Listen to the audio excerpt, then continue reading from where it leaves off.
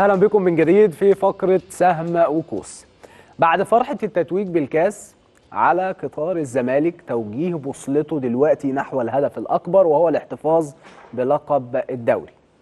تسع محطات الوصول ليهم بعديهم أو بعد الوصول بعديهم للقب رقم 14 في تاريخ نادي الزمالك وكتابة فصل جديد في رواية معجزات ميت للمزيد والحديث أكثر عن نادي الزمالك ومباراة سموحة كمان النهارده سعدنا نستقبل في الاستوديو زميلنا المحلل الرياضي المميز الأستاذ أحمد سمير منور الدنيا يا أستاذ أحمد بنورك يا أستاذ أحمد اللي دايما النهاردة. متألق ودايما بنتابعك بشغف آه، ربنا يخليك. يا رب. متألق دايما أستاذ اتكلمنا في البداية عن فرحة الكاس ومباراة الكاس قبل ما نروح لمباراة سموحة ونشوف معطيات المباراة عاملة إزاي بالنسبة لنادي الزمالك ونادي سموحة شفت مباراه الكاس إزاي ونهائي الكاس إزاي؟ وحصولنا الزمالك على بطوله مهمه من الغريم التقليدي النادي الأهلي. اولا نحب نبدأ إن الإعداد النفسي لمستر فيريرا كان باين قوي تأثيره على اللاعبين. واضح إن كان في بعض الجمل متحفظة بشكل كويس جدا والكره اللي دخل منها الهدف الأول آه، اللي صنعه بكفاءة الجزيري واضح إنها متحفظة اتلعبت مرة واثنين وثلاثة. فالراجل باين عليه إن ليه شغل فني وخططي لا ينكره أي أحد. الميزة في آه، مستر فيريرا كمان إن في بيبقى واحد يقول لك ترينر كويس لكن مش كوتش. آه، فيريرا هو في الاثنين بسم الله ما شاء الله. يعني هو مدرب كويس جدا. بيطور اللعيبة بشكل رهيب. فالكاو حتى أحد أعظم المهاجمين قال كان إن هو ليه دور كبير جدا في تطور آه، مسيرته. فإحنا شفنا حتى لاعبين صاعدين زي حسام عبد المجيد كان في بداية صعوده كان بعض الناس متخوفة منه دلوقتي بقى من اللعيبة اللي ليها ثقل واقف في واقف الملعب. على رجليه. فده دليل على إن عندنا كوتش قدير أنا اتمنى ان بس مستر فيريرا ما يبقاش مجرد مدير فني لل- للفريق الأول. أنا اتمنى ان يبقى يدي محاضرات كمان للمدربين الناشئين نستفيد من الخبرات بتاعته ان نبني كوادر جديدة لأن مش كل يوم انت تقدر تجيب مدرب بالثقة اللي عند مستر فيريرا فماتش ال- الكاس اولا فكرة فكرة عظيمة جدا اللي انت قلتها دي. أتمنى لأن إحنا, إحنا طبعا مش عايزين نشغله أكتر عن الفريق الأول بعد الدوري. ده همنا الأول. والوحيد طبعا اللي هو الفريق الأول. يبقى مركز معاه وكل حاجة. وطبعا دي فكرة مهمة جدا لكن بعد انتهاء الموسم يعني. أكيد أكيد. لأن هو ما يعني هو فعلا بروفيسور يعني هو وصل لمرحلة نادرا ما بتلاقي مدير فني في مصر بالثقل ده. خصوصا يعني الولاية الأولى كلنا كنا معترفين بثقل مستر فيريرا بس الولاية الثانية كلنا تاثرنا بيه قوي ليه؟ الحاجة الأولانية أنت كنت شغال مع تيم كويس وكان في قوام رئيسي. دلوقتي جاي في ظروف أصعب ما يكون. ففي مدرب ممكن يشتغل بأدوات كويسة ويشتغل يعمل بيهم شغل كويس. لكن انت تشتغل خلي بالك أنا آسف على قطع. كلامك. هو في مدرب هيقبل بالوضع ده أو ما يقبلش؟ كون إن هو اتشرح له من طبعا امير مرتضى المشرف العام ومن المستشار مرتضى منصور ظروف النادي وإن دي المجموعة اللي موجودة عندنا لعيبة غدرت فهو كان ممكن ما يوافقش. إن هو ما ياخدش الريسك. ويجي يقول لك بس ما تطلبش مني حاجة. بالظبط يقول لك أنا ما, ما تربطنيش بهدف أو بتارجت. آه. أنا ما خلاص أنا همسك الفريق عشان الموسم اللي بعده. لكن هو هو بطبيعته هو راجل عنده حتة التحدي عالية جدا عنده إصرار إنه يع- يعمل حاجة لنفسه وحاجة لنادي الزمالك اللي هو اتأثر جدا في مسيرته بتولي فريق الزمالك. فواضح ده جدا مع فريق الزمالك. واضح جدا إن الراجل ابتدى يعلي مستوى الوعي التكتيكي لرياض اللعيبة بطريقة كبيرة جدا. شفنا حتى مثلا كان في انتقادات كتيرة جدا على المسلوسي قبل كده بالعكس المسلوسي مستواه تطور الفترة اللي فاتت. حتى كان في جدل كبير جدا. الزمالك في مباراة الأهلي كان بيلعب بأربعة ولا بثلاثه كان حصل جدل كبير جدا في الكلام ده. فنقدر هو أساسا كان بيلعب بأربعة آه لكن في حالة الدف... في حالة الهجوم كان المسلوسي بيثبت. فكأنه قلب دفاع ثالث. لكن هو أساسا المسلوسي كان بيلعب ظهير أيمن وأمامه نيمار هو اللي كان ال- ال- الجناح الأيمن. وزيزو لعيب حر. ففي حالة ثبات المسلوسي كان زيزو ونيمار بيشكلوا الجبهة اليمنى فكان دي عاملة خلط لبعض الناس حتى ناس كتير اتكلموا إن الزمالك بيلعب بثلاثه لا الزمالك بيلعب بأربعة بس زي ما تفتكر كده كان برشلونة أما كان داني ألفيس بيطير وابيدال هو اللي واقف مرتكز فكان بيبان في الملعب دايما إن في ثلاثة واقفين. فالمسلوسي قدم الدور بشكل كويس جدا أحمد فتوح ابتدينا نشوف يرجع لمستواه المعهود بشكل كبير. آه إمام عاشور أحد أهم أسلحة الزمالك في الفترة الأخيرة لعيب آه مستقبل مصر في المكان ده. حتى إحنا سيد نيمار بقى رغم إن هو لاعب صاعد حديثا بس باين جدا وواضح إن من اللعيبة اللي بقى ليهم ثقل في الفريق الأول. حتى سمعنا بعض الأنباء إن فيتوريا اتكلم عليه بشكل كويس. وكان سأل برضك على بن شرقي بس قالوا له راجل مغربي يعني يعني. مغربي آه مش مصري. فده كان شيء أسعدنا جميعا إن ابتدى يعمل هيكل وقوام. بعد ما كنا بنقول إحنا محتاجين فرقة كاملة لا إحنا شايفين إحنا عايزين نغطي بعض النواقص بس في شكل عام للفرقة آه، مقبول. أنت متصدر الدوري وبتاخد كأس مصر رغم الظروف والغيابات والإيقافات. ده بيدل على إن أنت معاك مدرب كبير جدا و coach رائع بصراحة. آه، شفت الاحداث المباراة إزاي؟ وأنا بحب دايما أشوف تحليلك اللي أنت بتنزله على ال social media الخاصة بيك. شفت المباراة إزاي تكتيكيا؟ إحنا شفنا أكتر من فرصة أو من أكتر من جملة بيتم تنفيذها اللي هي الكوره اللي في ظهر المدافعين اللي كان متميز فيها جدا سيف الدين الجزيري قبل خروجه. طبعا. ويمكن فريرا في المؤتمر الصحفي ما نسيش إن هو يتكلم عن اخطائه ودي حاجة بصراحة عظيمة جدا مفيش حد مدرب في العالم بيعملها.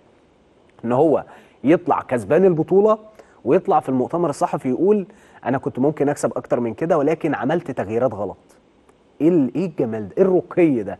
يعني تصالح مع النفس عشان كده الراجل ده ناجح طبعا بيطبق العدل ثقة في نفسه آه، واثق في نفسه. محتاج آه، إن هو يقول لأن أي واحد قابل إن هو يخطأ فكون إن أنا بعمل كده أنا بعد كده حتى لو انتقدت لعيب هقول له أنا نفسي أنا قلت أنا انتقدت. نفسي، صحيح. فأنت هيبقى في سلام نفسي مع اللعيبة حتى مع الأجواء مع الجمهور مع الإعلام نروح آه، بس- للجانب التكتيكي. شفت ال- المباراة فنيا عاملة إزاي خصوصا في بدايتها كان نادي الزمالك مسيطر على كل أرجاء الملعب كان في أكتر من لعبة بيراهن عليها مستر فيريرا. المو... اللعبة الأولانية كان زي ما أنت وضحت الجزيري وانطلاقاته ما بين الظهير وقلب الدفاع في الأهلي وشفناها في لعبة الهدف الأول. ودي من ضمن الأسباب اللي لعب بيها المثلوثي. المثلوثي كان بيلعب ويقف لأن هو بيعمل تشيب هو اولا بيشد أحمد عبد القادر. فأحمد عبد القادر يضغط عليه. نيمار أما يجي يروح فيروح يمين على نيمار علي معلول. ففي مساحة في ظهر معلول. كان يا إما زيزو بيميل عليها يا إما آه، الجزيري بيميل عليها. فده كان ذكاء. أنا بعمل حاجة اسمها تفوق عددي في جبهة من الجبهات. ميل زيزو على الجبهة دي مع المثلوثي ونيمار عمل تفوق عددي في الجبهة دي.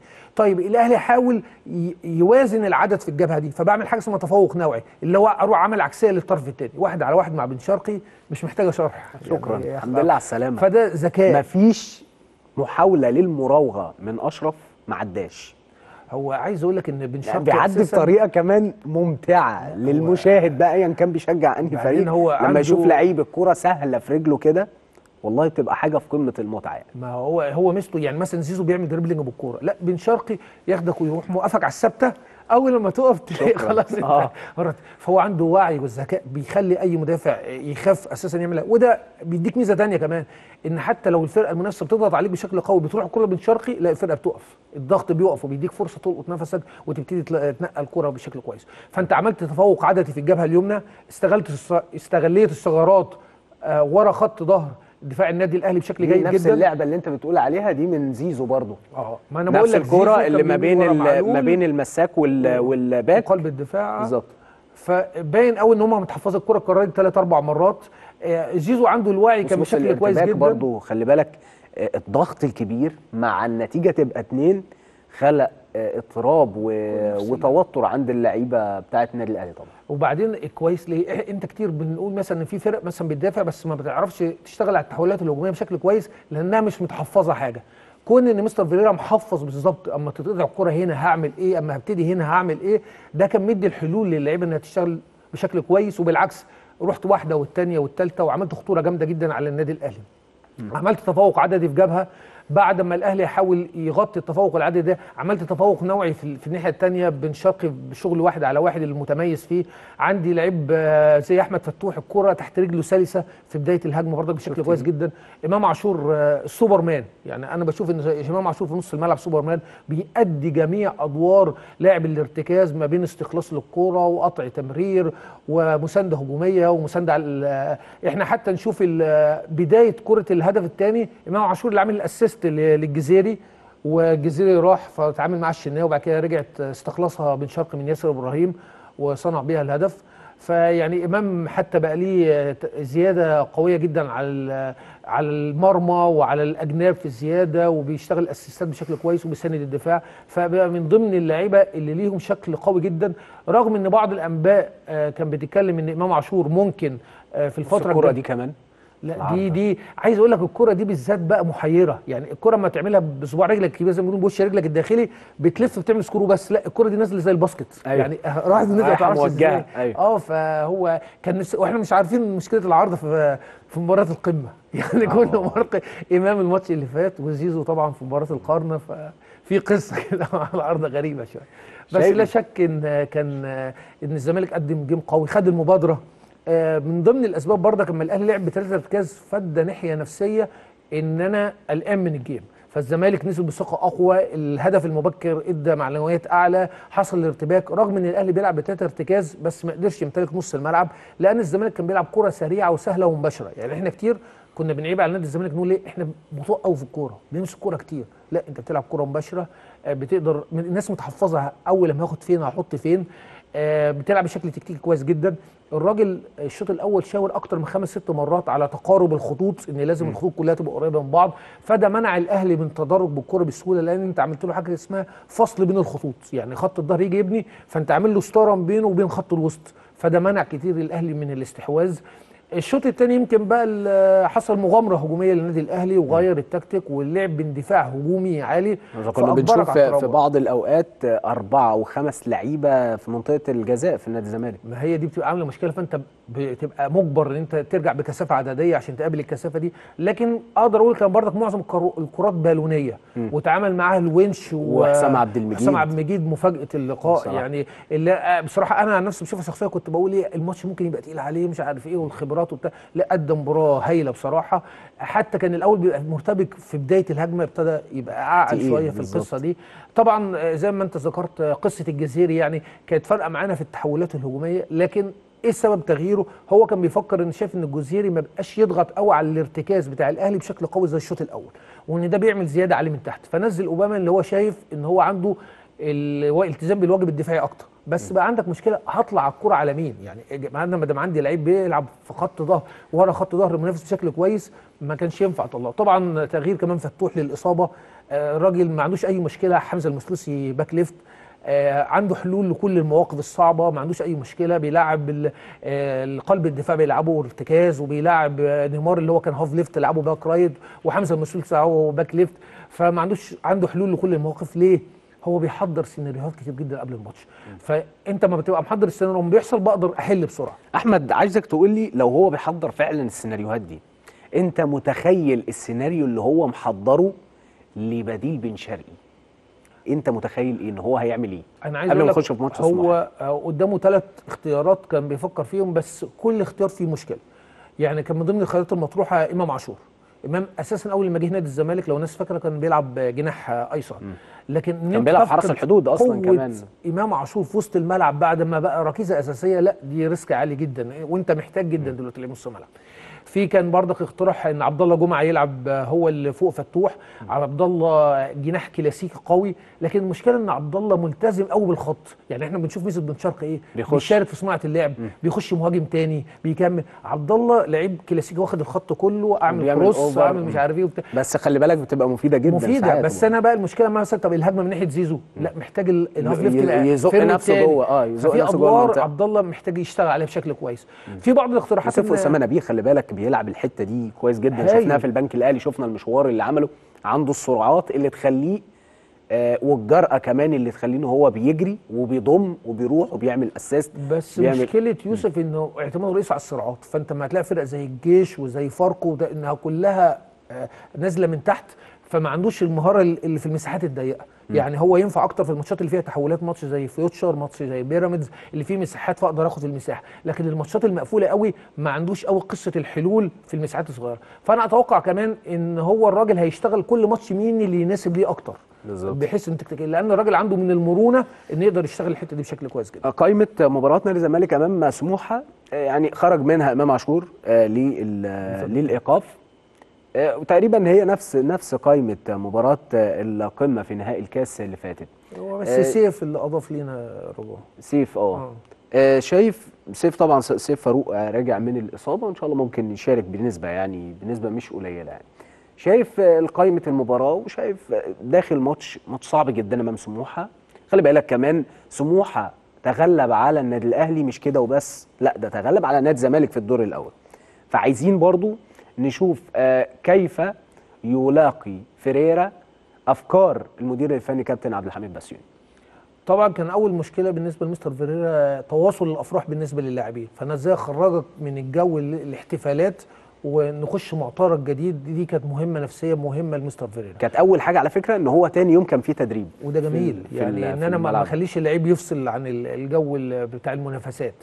الحاجة الثانية ما حضرتك بتقول كابتن حميد بسيوني من ضمن المدربين اللي عندهم مرونة تكتيكية وبيعرف يتعامل مع الجيم كويس جدا وكوتش كويس. فإن أنا أتعامل معاه بشكل إزاي؟ إن أنا أمسك كورة وهاجم وفي نفس الوقت أبقى إزاي أعمل حساب التحولات؟ في حاجة في الكورة اسمها الرقابة الوقائية. يعني وأنا بهاجم إزاي أعمل press على المهاجم عشان ما يطلعش عليه الكورة بتاع المنافس؟ الكلام ده كله. سموحه عندها لعيبة خفيفة عبد مثلا عبد الكبير الوادي من ضمن اللعيبة الكويسة جدا في واحد على واحد بيعمل التحولات بشكل كويس.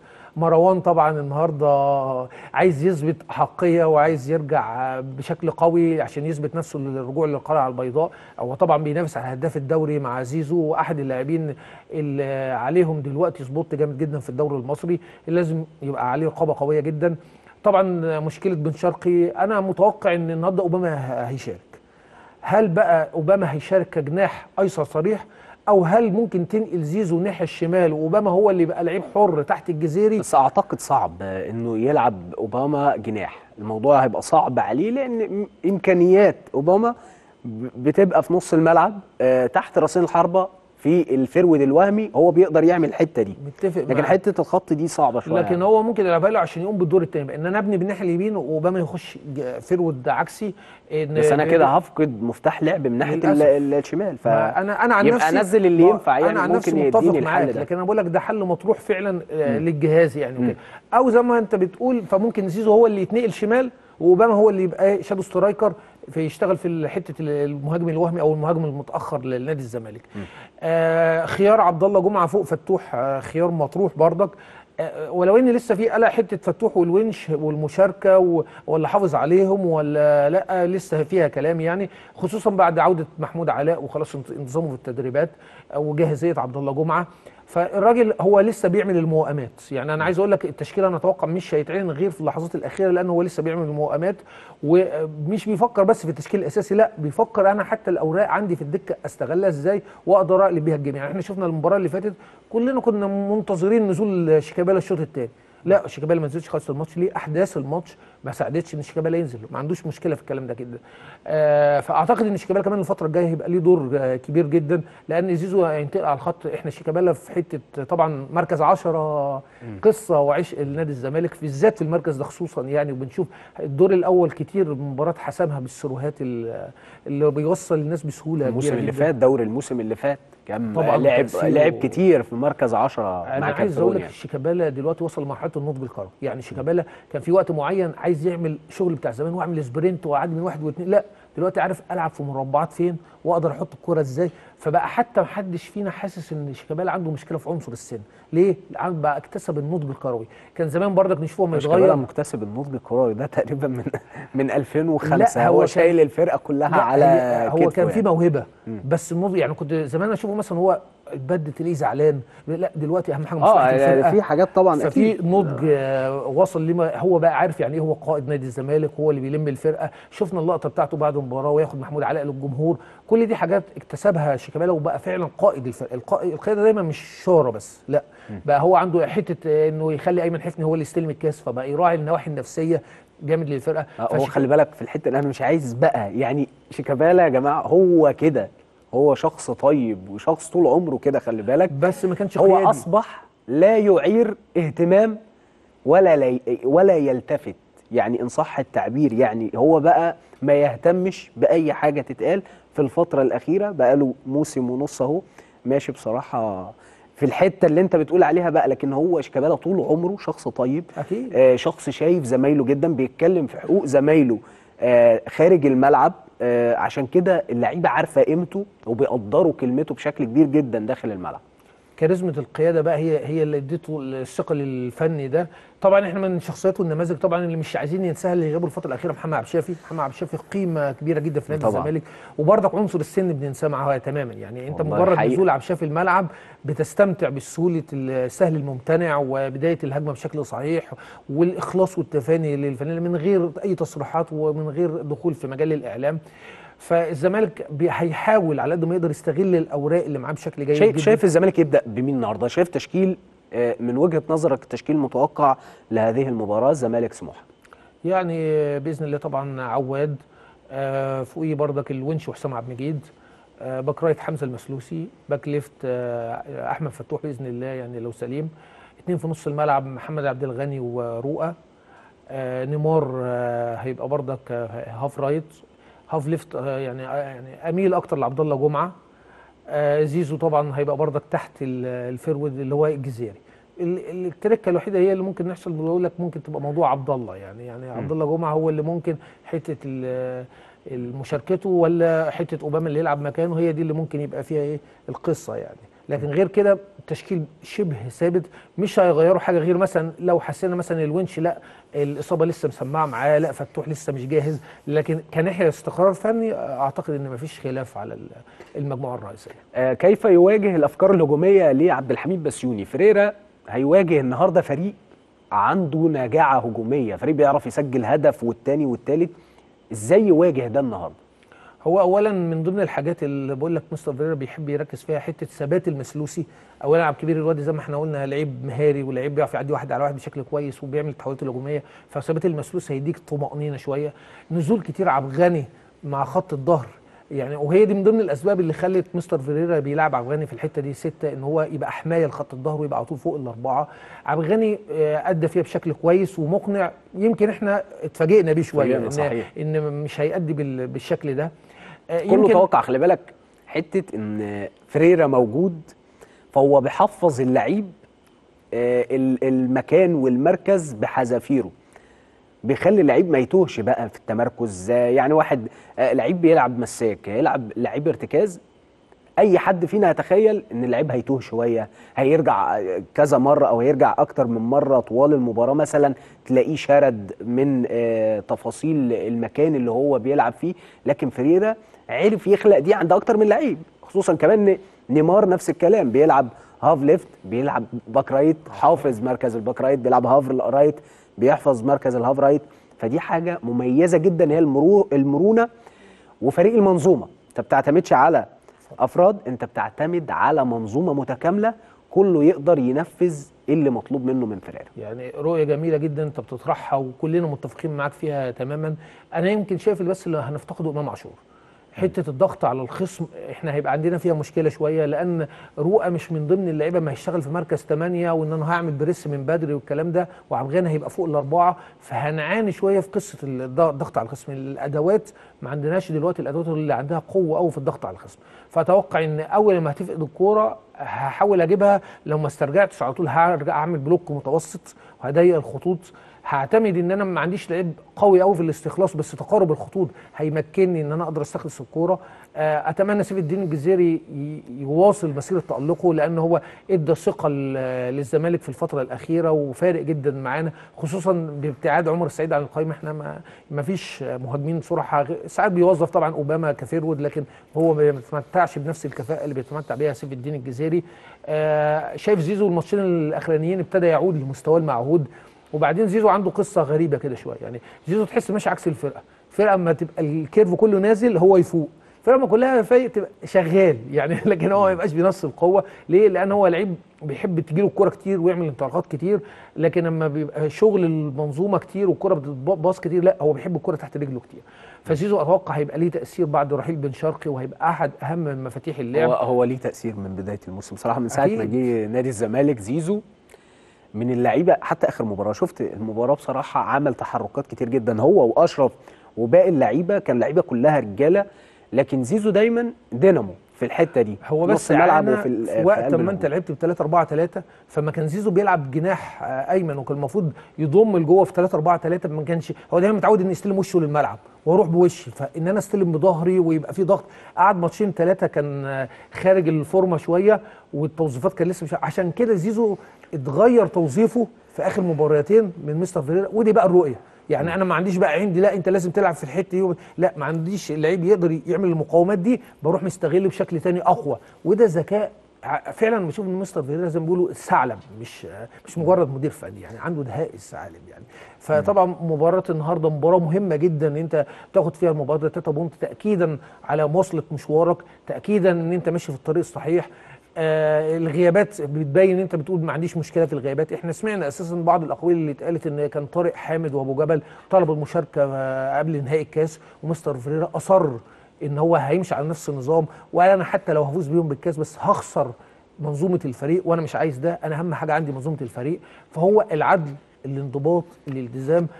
ده كمان اللي أكده امبارح أكده امبارح آه، أمير مرتضى منصور مشرف العام على الكوره وقال امبارح إن هم تركوا الكورة لصاحب لصاحب القرار في الكورة. يعني المدير الفني قالوا له ده لعيب دلوقتي عايز تستخدمه استخدمه مش مشكلة هو مكمل معانا لحد الوقت الفلاني.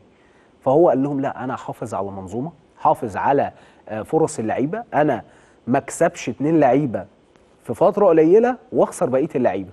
فهو راهن ورهانه هو اللي كان كسبان. وده بي- بي- بيعمل حاجات كويسة جدا في الفرقة. انت اللعيبة أما كل اللعيبة بيحس إن في عدل في الفرقة وما فيش حتة إن في نجم وإن كده كده هيلعب وإن إن أنا عشان محتاجه هلعبه حتى لو عامل مشكلة فبيرسل عدل فبيخلي كله منضبط وكله مركز ورجع الوحدة في الفريق بشكل كويس صح. وما بيبصش على على تحت رجله بس إن أنا آخد البطولة وخلاص لا أنا ببني مشروع بشكل كويس جدا ببني قواعد فالراجل اشتغل من ناحية نفسية ناحية فنية ككوتش بشكل عالي جدا خلينا نكون منطقيين هو السبب الرئيسي في طفرة نادي الزمالك الفترة الأخيرة بما يملكه من مشاكل في السكواد وعدم تعاقدات لإيقاف القيد مستر فيريرا هو بطل الموسم بغض النظر عن فوزنا بالدوري من عدمه اللي بإذن الله إن شاء الله هناخده لكن ايا كانت النتيجة هو بطل الموسم بلا شك في نادي الزمالك. ثلاث ماتشات مهمين جدا شايف ماذا يعنوا لنادي الزمالك؟ سموحة بوابة الدوري. فيوتشر بيراميدز. بوابة الدوري لأن يعني بيراميدز منافس مباشر فلا شك إن هو وبعدين أنت لو تشوف ترتيب الفرق أنت بتتكلم في ثالث هو المربع زي أنت هتلاعب آه فيعني فرق عندها آه ناحية هجومية بشكل كويس جدا اختبارات آه هتبقى قوية جدا بالنسبة لك. فأنا شايف هم محطة الخروج لل للدوري. أبتدي بقى أحسب. يعني أنا لو مش هقدر آخد 9 بونت على الأقل ما فقتش أكتر من 2 بونت في في الثلاث مباريات دي. لأن خلينا منطقيين مبدأ إن أنا كده كده لازم أكسب كله. ده ده, ده, ده مش في الكورة. يعني لكن حتة التقبل السيناريو الأفضل بالنسبة لي إيه؟ أقدر أعدي إيه؟ ما يبقاش إن أنا محضر نفسي إن أنا على طول هفوز. فلو اتعادلت يحصل الهزة. يعني لو نفتكر الماتشين إحنا ماتش إنبي وماتش الجيش حصلت الهزة عشان أنت خسرت الماتش وأنت ما كنتش مهيئ نفسيا إن أنت ممكن تخسر. لا أنا يبقى عندي حتى إن أنا كده أقدر أتجاوز إزاي أي نتيجة ممكن تبقى مش إيجابية مش نهاية الكون مثلا لو اتعادلت في مباراة المهم أرجع تاني للمنافسة بقوه وأنا لسه متصدر. الثقة دي أعتقد إن مستر فيريرا الخبير والبروفيسور يقدر ينفذها بشكل كويس. كابتن أحمد شرفتنا ونورتنا بنورك أستاذ أحمد دايما مستمتع باللقاء معك كصديق وإعلامي مميز. ربنا يخليك. انتهت فقرتنا فقرة سام وكوس. كان معانا المحلل الرياضي المميز الأستاذ أحمد سمير. خلصت حلقتنا من نهارك أبيض. على أمل لقاء إن شاء الله بكرة في حلقة جديدة من نهارك أبيض. إلى اللقاء.